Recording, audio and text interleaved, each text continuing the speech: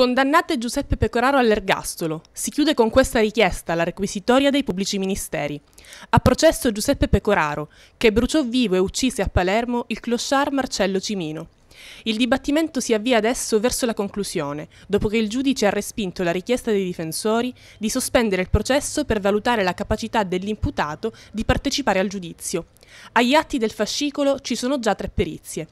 Quella di parte ritiene che il giorno del delitto Pecoraro fosse incapace di intendere e volere. Secondo il perito dell'accusa, invece, era ed è sano di mente.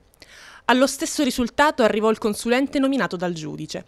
Marcello Cimino fu bruciato vivo a marzo dell'anno scorso, mentre dormiva su un giaciglio di fortuna davanti alla mensa dei Cappuccini a Palermo. I parenti della vittima si sono costituiti parte civile con l'assistenza degli avvocati Toni Palazzotto e Francesco Paolo Martorana. Secondo i PM si è in presenza delle aggravanti della premeditazione, dei futili motivi, era convinto che Cimino gli contendesse la donna con cui aveva iniziato una frequentazione e dell'avere agito con crudeltà.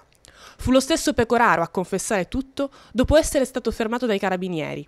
Ero geloso, la insidiava, faceva battute che non mi piacevano. L'uomo, impiegato in un benzinaio della zona, ha 45 anni. Avevano avuto un litigio i due uomini, poi Pecoraro è ritornato di notte per uccidere Cimino. Il benzinaio è stato individuato e bloccato in strada. Si era fatto la barba, probabilmente per non essere riconosciuto, ma aveva una vistosa bruciatura su una mano. Ai poliziotti ha dapprima detto di essersela procurata usando la macchinetta del caffè, ma gli investigatori non gli hanno creduto. Accompagnato alla squadra mobile ha ammesso tutto. Per le attività investigative ci si è avvalsi delle indagini del convento dei Cappuccini e di una serie di riscontri, studiando le giornate precedenti al brutale omicidio. Sono stati ascoltati dei testimoni e svolte attività che hanno permesso di arrivare all'identificazione del responsabile. La tragedia si è consumata poco dopo mezzanotte.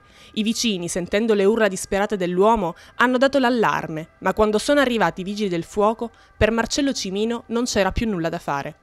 Separato con due figlie, Cimino aveva scelto di lasciare tutto e vivere in strada.